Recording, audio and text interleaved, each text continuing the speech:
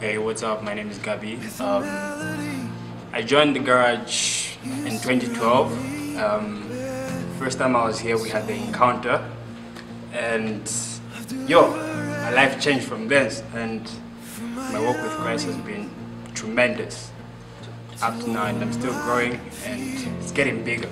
So the garage is the place to be, and I'm inviting you every Sunday at 12 hours.